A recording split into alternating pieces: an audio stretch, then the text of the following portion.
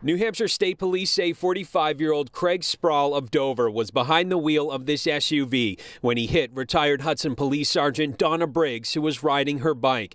The accident happened Tuesday morning on Route 125 in Kingston. Briggs's body was found later that evening.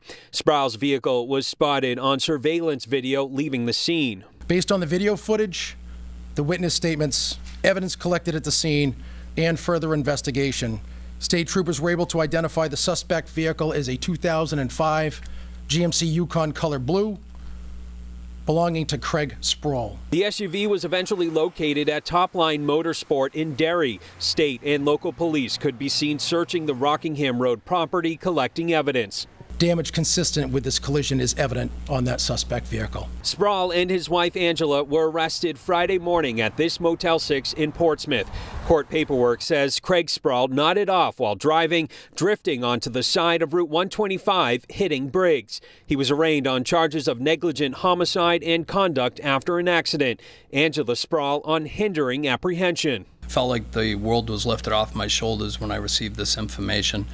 And I only can imagine that the Briggs family feels the same. State police, well, um, worked, like they said, around the clock, um, chasing down leads, uh, retrieving videos, and uh, that's why we've had some success on this. And Craig Sprowl was ordered to be held on preventative detention. Angela Sprowl is set to be arraigned on Monday. Reporting live in Derry, I'm Tim Callery, WMUR News 9.